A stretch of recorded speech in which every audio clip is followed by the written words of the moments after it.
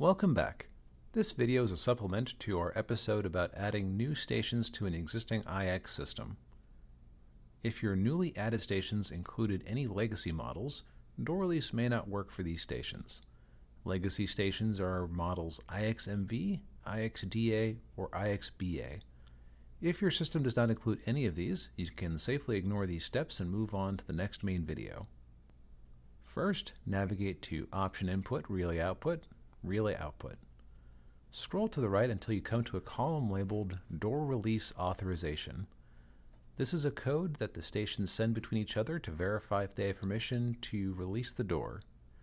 Normally, we would not need to adjust these settings since Support Tool makes sure that all of the settings line up. However, if we look at the legacy model stations, you can see the problem.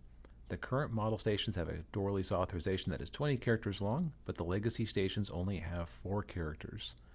This is because that is all that they can interpret, which will make door release impossible between the current and legacy stations. Support Tool can make the adjustment if legacy stations are part of the system from the start, but we have some extra steps to follow since they have been added after the fact. First, pick a four-digit number. It does not matter which, in our case we'll use 1111. Select one of the cells and overwrite the existing authentication key, once that is done, you can select the cell again, then copy and paste the number into the others. Once all stations have the same authentication key, click Update. Next, go to Function Settings, Door Release. This table represents the different master stations and the other stations that they can unlock. Some fields will be grayed out. Do not worry about these. Now, anywhere we can put our new authentication, type or paste it in.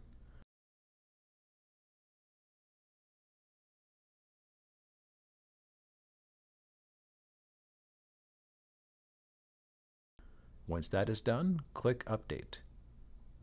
Finally, navigate to File, Upload Settings to Station. Select all stations, then click Settings. Once the upload is finished, all of the master stations should be able to unlock all of the door stations. Thank you for watching.